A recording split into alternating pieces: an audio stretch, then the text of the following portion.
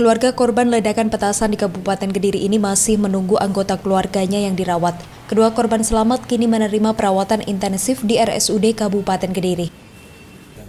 Sebelumnya, tiga orang di Kecamatan Kepung, Kabupaten Kediri menjadi korban ledakan petasan yang dirakitnya. Satu orang meninggal dunia dan dua lainnya mengalami luka bakar dalam kejadian itu. Kini, dua korban yang mengalami luka bakar masih menerima perawatan intensif. Bahkan satu orang korban akan dirujuk untuk menerima penanganan medis yang lebih serius ke Rumah Sakit Dr. Sutomo, Surabaya.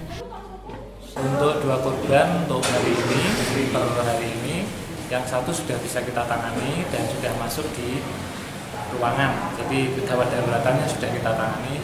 Insya Allah gawat darurat sudah tidak gawat darurat lagi. Tapi untuk korban yang satu lagi, sekarang masih kita tangani di unit gawat darurat ini dan kemungkinan nanti kalau memang kita tidak bisa menangani akan kita rujuk ke fasilitas yang lebih tinggi lagi yaitu ke rumah sakit insya Allah nanti ke rumah sakit Surabaya di Dokter Seberapa parah sih dok kondisi korban? Uh, untuk seberapa parah kondisi korban karena ini luka ledakan yang pertama pasti ada memar, ada luka bakar dan kemungkinan masih diinvestigasi adanya patah tulang yang mungkin lebih lanjut kita tangani. Sebelumnya, polisi juga telah membawa sisa bubuk mesium yang digunakan untuk merakit petasan tersebut. Hingga saat ini peristiwa tersebut masih dalam pendalaman penyelidikan pihak kepolisian.